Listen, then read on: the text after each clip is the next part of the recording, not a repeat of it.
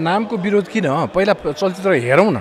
चलचित्र बनेको चाहिँ सेन्सरले गर्ने कामहरूलाई सेन्सरलाई गर्न दिउँ। सेन्सरबाट पनि छुटेर आयो भने दर्शकहरूले त्यसलाई बहिष्कार गर्नुपर्ने हो कि संरक्षण गर्नु सम्वर्ध के अरे समर्थन गर्नु पऱ्यो त्यो त गर्छ नि। कि अब धार्मिक नाम राख्न नपाउने? मेरो नाम कृष्ण हो नि। भोलि मेरो पनि विरोध गर्ने शिवको विरोध गर्ने रामको विरोध गर्ने।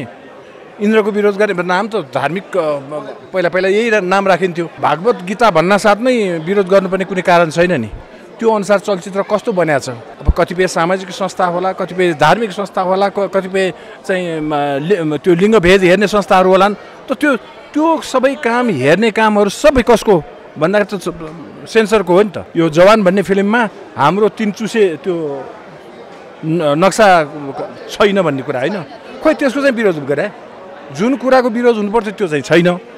जुन कुरोको विरोध हुनु पर्दैन त्यो चाहिँ हुनुपर्ने। अब भुवन केसीजीबाट चाहिँ धेरै आशा गर्न सकिन्छ। अरूभन्दा पनि बढी आशा गर्न सक्नु सकिन्छ स- सक्छौँ हामीले। आशा गर्छौँ पनि गर्नु पनि पर्छ हेर्नुहोस् है। तर उहाँबाट नै यस्तो किसिमको निराशाका कुराहरू हुन थाल्यो भने चाहिँ बहुतै बहुतै दुःख लाग्छ। जति सफल हुनुपर्ने हो त्यति सफल चाहिँ हुनु भएन। जति सक्षम हुनुपर्ने हो त्यति सक्षम चाहिँ हुनु भएन। तिम्रो गहना बेच्नु र? यो त जन्तर त हो। मेरो गहना त तपाईँ नै हो नि। यस्तै मजाको भिडियोहरू हेर्नको लागि आजै सब्सक्राइब गर्नुहोस् मजाको टिभी रमाइलो छ।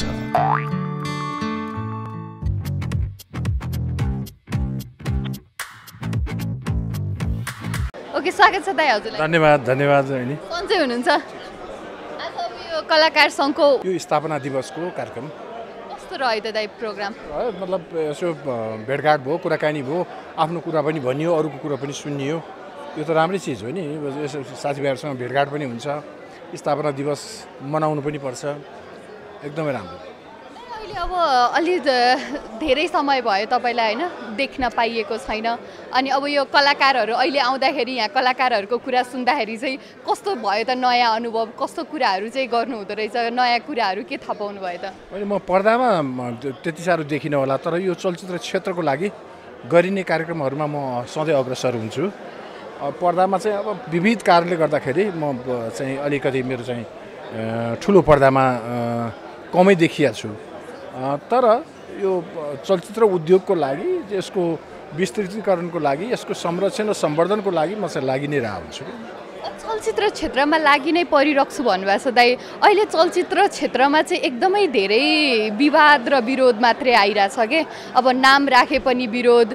त्यो नाम चेन्ज गर्नु पर्यो अरे भन्नुहुन्छ। अब जब कि नाम राख्ने बेलामा चाहिँ सुरुमा चाहिँ कुरा केही उठ्दैन। जब कि नाम राखेर फिल्म बनाइसकेपछि चाहिँ नाम चेन्ज गर्ने भन्ने कुराहरू जुन यो विरोध भइरहेछ हजुरले चाहिँ फेसबुकमा स्टाटस पनि लेखिसक्नु भएको थियो। यो विषयमा दाइ हजुर के भन्नुहुन्छ? के भन्छु भनेर नामको विरोध किन? पहिला चलचित्र हेरौँ न। चलचित्र बनेको चाहिँ सेन्सरले गर्ने कामहरूलाई सेन्सरलाई गर्न दिउँ।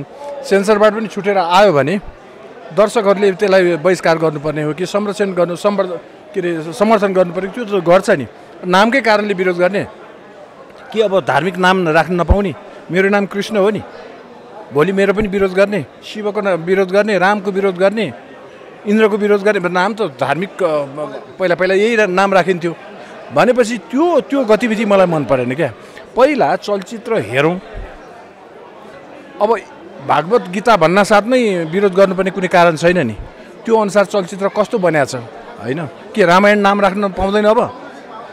अब महाभारत भन्ने नाम राख्न नपाउने भयो अब? स्वस्तानी भन्ने नाम राख्न नपाउने भयो अब? त नाम त राख्नु पाउनु पऱ्यो नि। अब त्यसलाई पुष्टि गर्ने त्यो कथा छ कि छैन भन्ने कुरा त अहिले हेर्ने होइन नि। फेरि एउटा धार्मिक संस्था चारवटा धार्मिक संस्था मात्रै छैन हामी कहाँ।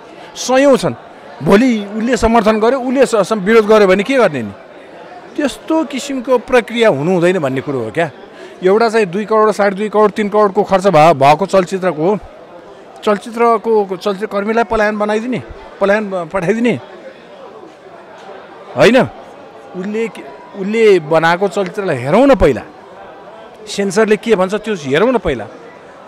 अब कतिपय सामाजिक संस्था होला कतिपय धार्मिक संस्था होला कतिपय चाहिँ त्यो लिङ्गभेद हेर्ने संस्थाहरू होलान्।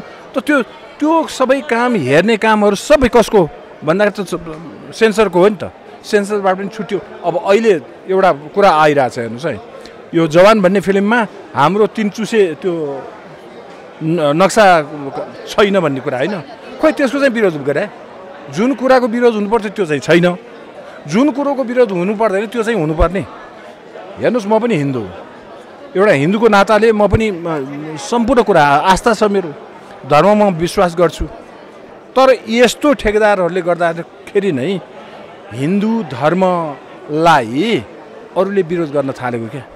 हामी त एकदम उदार छौँ नि। हिन्दू धर्म भनेको त उदार ध- धर्म हो बुझ्नुभयो? हो हाम्रो आस्थामाथि कुनै प्रहार भयो भने त्यति बेला विरोध गर्न जायज छ। तर जबसम्म त्यो हाम्रो आस्थामाथि प्रहार भएको छैन वा हामीलाई अनुभव भएको छैन हामीले देखेका छैन सुनेका छैनौँ भने किन विरोध? यो यसको चाहिँ म कुनै हालतमा पनि समर्थन गर्दिनँ क्या।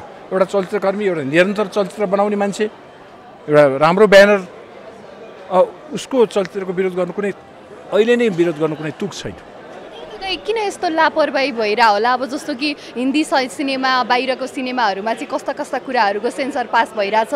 अनि नेपाली चलचित्रमा चाहिँ अब फिल्म रिलिज भएको छैन। उहाँहरूले नामकै आधारमा विवाद बनाइराख्नु भएको छ। यो किन यस्तो के भइरहेको होला दाइ अहिले नेपाली कसो भइरहेछ त्यो अर्को कुरा भयो मुख्य कुरा के छ भने चलचित्र विकास बोर्डले पहिला कथा हेर्ने हो कथा पास गर्ने हो।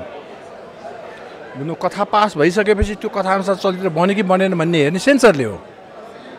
त्यही हुनाले पहिला नै कि चलचित्र विकास बोर्डले रोक्नु पर्थ्यो? नाम राख्दैखेरि कथा हेर्दैखेरि अब कथामा चलचित्र बनेर अन्तिम अन्तिम समयमा आएको बेलामा विरोध गर्न गयो भने हामी पनि त विरोध गर्न जाउँ त उसो भए के त्यो विरोध गर्दैमा त्यो फिल्म रोकिँदै जाने? सेन्सरलाई पठाइदिनु पर्ने काम हो उसले। उसले पठाइदिने सेन्सर कहाँ? सेन्सरले जे गर्छ गर्छ। त्यसपछि दर्शक कहाँ जान्छ? दर्शकले के गर्छ त्यो आफ्नो ठाउँमा छ।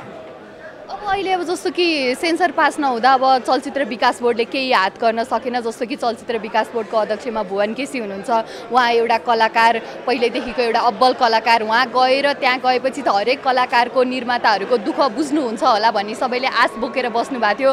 तर अहिले सबैलाई निराशा बनाइराख्नु भएको छ भन्ने कुरा नि पुष्टि भइरहेछ। के भन्नुहुन्छ दाइ यसमा? होइन पक्कै पनि अब अलिकति निराश अवस्थामा छौँ। एउटा चलचित्रकर्मी एउटा राम्रो चलचित्रकर्मी एउटा राम्रो कलाकार राम्रो निर्माता हो हुनुहुन्छ भुवन केसीजी है कि अब भुवन केसीजीबाट चाहिँ धेरै आशा गर्न सकिन्छ। अरूभन्दा पनि बढी आशा गर्न सक्नु सकिन्छ सक्छौँ हामीले। आशा गर्छौँ पनि गर्नु पनि पर्छ हेर्नुहोस् है। तर उहाँबाट नै यस्तो किसिमको निराशाका कुराहरू हुन थाल्यो भने चाहिँ बहुतै बहुतै दुःख लाग्छ। त्यति बेला चाहिँ मनैबाट उहाँलाई भन्नुपर्ने हुन्छ कि गाली गर्नुपर्ने हुन्छ। त्यो गाली भनेको चाहिँ उहाँलाई व्यक्तिगत रूपमा होइन होइन? उहाँ विकास बोर्डमा हुनुहुन्छ। विकास बोर्डमा उहाँले गर्न नसकेको कामको लागि गाली गर्ने। अर्को एउटा दाइ कुरा अब के भन्ने आइरहेको थियो भने अब जस्तो एक भगवत गीतामा धीरजको सट्टा अनमोल भएको भए चाहिँ सायद सजिलै सेन्सर पास हुन्थ्यो कि भन्ने कुरा आइरहेको छ। यसमा चाहिँ हजुर चाहिँ कतिको मान्नुहुन्छ अनमोल केसी भएको भए चाहिँ? त्यो त म मलाई थाहा छैन त्यो कुरा। है त्यो कुरा कहाँसम्म सत्य हो के हो भन्ने कुरा प्रमाणित नभएसम्म त्यो भन्न सकिने कुरा होइन। तर जहाँसम्म लाग्छ भुवन केसीबाट त्यो त्यो किसिमको विभेद चाहिँ नहुनु पर्ने हो। भएन होला भन्ठान्छु है म चाहिँ। त्यो त्यो त्यो त्यो कारण चाहिँ हो जस्तो मलाई लाग्दैन। अध्यक्षको ठाउँमा बसेर उहाँले चाहिँ एउटा के अरे आफ्नो पावरको आफ्नो कामको राम्रो सदुपयोग गर्नु नभएको हो कि आफूभन्दा सानो मान्छेलाई पनि उहाँले के अरे कुरा सुन्नुपर्ने अवस्था छ जस्तो कुरा छ। एउटा लिडर नबन्नु भएको हो कि? त्यसमा हजुर के मान्नुहुन्छ? लिडर नहुनु भएको हो त भुवन केसी उहाँ मतलब जति सफल हुनुपर्ने हो त्यति सफल चाहिँ हुनु भएन। जति सक्षम हुनुपर्ने हो त्यति सक्षम चाहिँ हुनु भएन। अब आगामी दिनहरूमा यस्ता हाम्रो किसिमको यो किसिमको आलोचनाले उहाँलाई केही मतलब सफलता मिल्नको लागि सहयोग हुन्छ कि भन्ने मेरो आशा छ विश्वास छ। थ्याङ्क यू सो मच दाइ thank you thank you thank you